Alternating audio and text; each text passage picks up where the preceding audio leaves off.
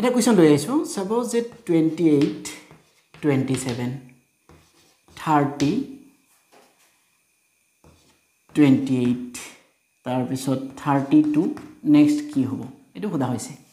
তো চাব এইটো কোনো নিয়মত নিশ্চয়কৈ নাই। তো আমি কি বিচাৰিব লাগিব যে কি যুক্তি ইয়াত ব্যৱহাৰ হৈছে? কি লজিক জানেই নহয় যে ৰিজনিঙৰ ক্ষেত্ৰত লজিকটো অতিকৈ জৰুৰী। তো চাব টুৱেণ্টি এইটৰ পৰা কি হৈছে? থাৰ্টি হৈছে দুই বৃদ্ধি পাইছে। থাৰ্টিৰ পৰা কি হৈছে? থাৰ্টি টু হৈছে দুই বৃদ্ধি পাইছে।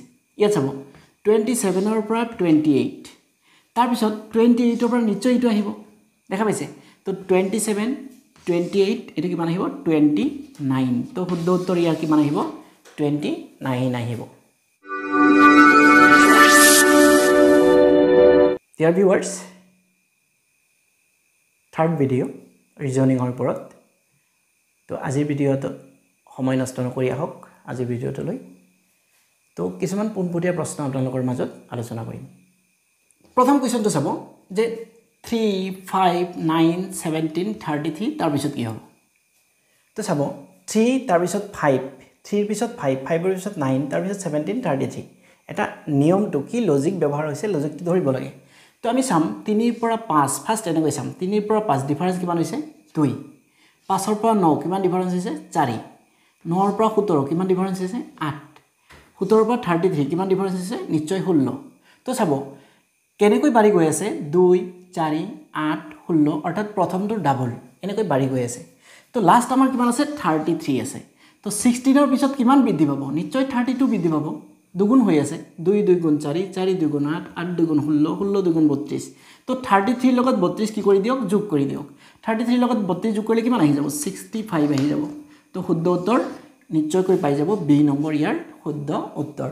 তাৰপিছত কুৱেশ্যন নম্বৰ টু চাব যে thirty six thirty four thirty twenty eight তাৰপিছত ধৰক এইটো টুৱেণ্টি ফ'ৰ হ'ব দেই টুৱেণ্টি ফ'ৰ তেতিয়াহ'লে নেক্সটটো কি হ'ব? তো চাব থাৰ্টি ছিক্সৰ পৰা থাৰ্টি টু কিমান কমিল? থাৰ্টি ছিক্সৰ পৰা থাৰ্টি ফ'ৰ কিমান কমিল? দুই কমিল। থাৰ্টি ফ'ৰৰ পৰা থাৰ্টি কিমান কমিল? চাৰি কমিল। থাৰ্টিৰ পৰা টুৱেণ্টি এইট কিমান কমিল? দুই কমিল। টুৱেণ্টি এইটৰ পৰা টুৱেণ্টি ফ'ৰ কিমান কমিল? চাৰি কমিল। তো দেখা পাইছে? দুই চাৰি। দুই চাৰি। নেক্সট কি আহিব? নিশ্চয় দুই আহিব। দুই কমিব। দুই কমিলে কিমান হ'ব? ইয়াত বাই চৌব্বিছৰ পৰা দুই গ'লে কিমান আহিব? বাইছ আহিব। তো পেটাৰ্ণটো ধৰিব। ফাৰ্ষ্ট দুই কমিছে চাৰি। তাৰপিছত দুই আকৌ চাৰি। তাৰপিছত দুই আহিব নিশ্চয়। চৌব্বিছৰ পৰা দুই গ'লে বাইছ তো শুদ্ধ উত্তৰ কিমান হ'ব? B number. তো নেক্সট কুৱেশ্যনটো আহিব। কুৱেশ্যন নম্বৰ থ্ৰী যে six five twenty four twenty five one forty four next কি হ'ব অলপ চিন্তা কৰকচোন। Six five twenty four twenty five one forty four চাব বিভিন্ন কোণত আপুনি চিন্তা কৰিব লাগিব আৰু তৎক্ষণাত সময়তো নাই। তো চাব কি কৰিব? মই দেখাইছোঁ যে ছিক্স তাৰপিছত ফাইভ তাৰপিছত টুৱেণ্টি ফ'ৰ তাৰপিছত টুৱেণ্টি ফাইভ তাৰপিছত ওৱান ফৰ্টি ফ'ৰ তাৰপিছত নেক্সটটো আমাক লাগে। তো চাব ছিক্সৰ পৰা মই যদি এনেকৈ চাওঁ ছিক্সৰ পৰা টুৱেণ্টি ফ'ৰ তো ছিক্স কিমানেৰে পূৰণ হ'ল? চাৰিৰে। ছিক্স ফ'ৰ জাৰ টুৱেণ্টি ফ'ৰ এতিয়া ফাইভৰ পৰা কিমান পালোঁ? টুৱেণ্টি ফাইভ তো ফাইভ ইনটু ফাইভ এইটো চাৰি গুণ বাঢ়িছে এইটো পাঁচ গুণ। এতিয়া চাব। Twenty four one forty four হৈছে। Twenty four one forty four তো টুৱেণ্টি ফ'ৰ ইনটু যদি হিচাপ কৰা হয় ওৱান ফৰ্টি ফ'ৰ হৈছে। তো এইটোত চাৰি গুণ পাঁচ গুণ এইটো যদি ছয় গুণ দিয়া যায় ছয় গুণ দিলে এইটো মিলিবলৈ নাই চাব? ছয় চাৰি গুণ চৌব্বিছ সাতত দুই ছয় দুই গুণ বাৰ দুই চৈধ্য। তো মিলি গ'ল। তো নেক্সট কি হ'ব? টুৱেণ্টি ফাইভৰ লগত কি পূৰণ কৰিলে এইটো আহিব? এইটো চাৰি গুণ কৰিলে এইটো পাঁচ গুণ এইটো ছয় গুণ এইটো সাত গুণ কৰি দিয়ক। কাক সাত গুণ কৰিব? টুৱেণ্টি ফাইভক টুৱেণ্টি ফাইভ ইনটু ছেভেন তো টুৱেণ্টি ফাইভ সাত গুণ সাত পাঁচ গুণ পঁয়ত্ৰিছ পঁয়ত্ৰিছৰ পাঁচ। চাব পঁয়ত্ৰিছৰ পাঁচ একক স্থানত পাঁচ ইয়াৰো আছে ইয়াৰো আছে। তাৰপিছত সাত দুগুণে চৈধ্য। আৰু তিনিয়ে সোতৰ। তো ওৱান ছেভেণ্টি ফাইভ ইয়াৰ শুদ্ধ উত্তৰ আহি আছে। চাব পেটাৰ্ণটো কেনেকুৱা? ছয় চৌব্বিছ এশ চৌৱাল্লিছ ছয় চৌব্বিছ কেইগুণ হৈছে চাৰি গুণ চৌব্বিছ কি হৈছে? এশ চৌৱাল্লিছ কেইগুণ? ছয় গুণ পাঁচ কি হৈছে? পঁচিছ পাঁচ গুণ এনেকৈ চাব। চাৰি গুণ পাঁচ গুণ ছয় গুণ সাত গুণ এনেকৈ চিৰিয়েলি যাব। তো লাষ্ট এনচাৰ কিমান পাই গ'লোঁ? ওৱান হাণ্ড্ৰেড ছেভেণ্টি ফাইভ ইয়াৰ শুদ্ধ উত্তৰ। নেক্সট কুৱেশ্যনটো চাব। Question number four question number ফ'ৰটো দিয়া আছে যে seven ten eight eleven nine twelve একদম চিম্পল কুৱেশ্যন এইটো। তো যদি চাই ছেভেনৰ পৰা কিমান হৈছে? এইট এইটৰ পৰা কিমান হৈছে? নাইন নাইনৰ পৰা কিমান হ'ব? টেন হ'ব ইয়াৰ শুদ্ধ উত্তৰ নিশ্চয়। চাবচোন নেক্সট বাকী যিখিনি থাকিল দহৰ পৰা এঘাৰ এঘাৰৰ পৰা বাৰ নিশ্চয় মিলিছে। তো আমি ফাৰ্ষ্ট যিটো জাম্পিং কৰাইছোঁ এইটো দেখা পাইছে কিমান আহিব? নৰ পিছত কিমান আহিব? দহ। তো শুদ্ধ উত্তৰ কিমান হ'ব? দহ হ'ব ইয়াৰ শুদ্ধ উত্তৰ। অইন একো নাই জাষ্ট আপুনি ধৰিব লাগে যে কি লজিকটো ব্যৱহাৰ হৈছে।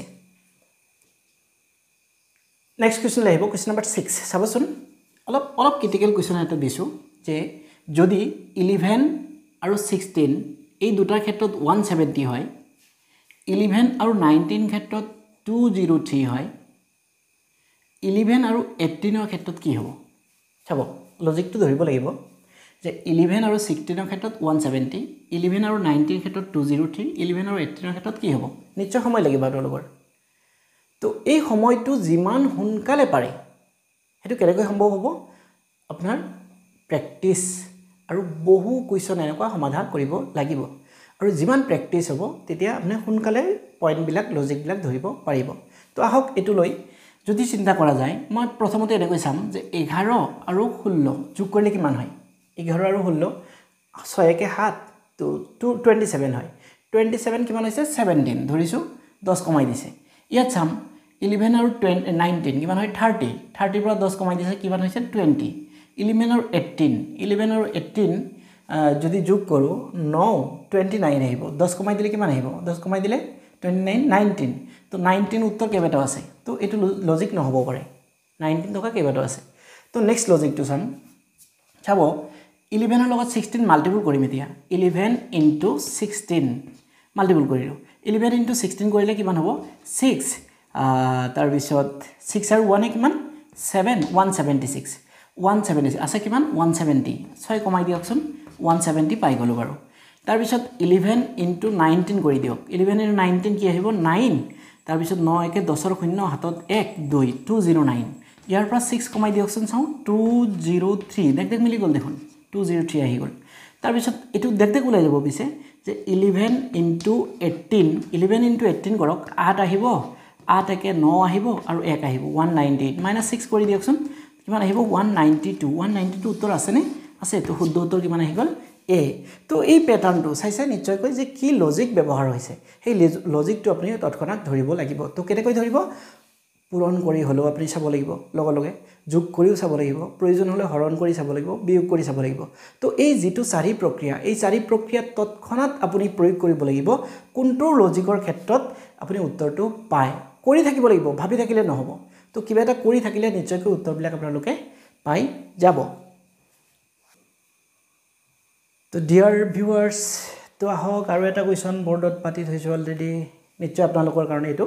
তো যদি চাব যদি পিৰ মান টুৱেলভ আৰু এইটৰ ক্ষেত্ৰত থ্ৰী নাইণ্টি কিউৰ মান ছেভেন আৰু ফাইভৰ ক্ষেত্ৰত ওৱান থাৰ্টি ফ'ৰ আৰৰ মান ফাইভ আৰু টুৱেলভৰ ক্ষেত্ৰত কি হ'ব? তো ইয়াৰ শুদ্ধ উত্তৰটো এই মাত্ৰ কুৱেশ্যন নম্বৰ ফাইভ ইয়াৰ আগৰ কুৱেশ্যনটো যদি আপুনি অনুকৰণ কৰে তেতিয়াহ'লে সেই নিচিনাকৈ হয় যুগত ভাবিব নহ'লে পূৰণত নহ'লে বিয়োগত নহ'লে হৰণত কোনোবা এটা লজিক ব্যৱহাৰ হৈ আছে। তো ইয়াৰ শুদ্ধত্বটো নিশ্চয়কৈ ট্ৰাই কৰিব আৰু কমেণ্টত নিশ্চয়কৈ জনাব। তো মই মোৰ পৰীক্ষাৰ্থীসকল আজিৰ ভিডিঅ'টো ইয়াতে সামৰিব বিচাৰিছোঁ। ভালে থাকক সুস্থ থাকক ধন্যবাদ।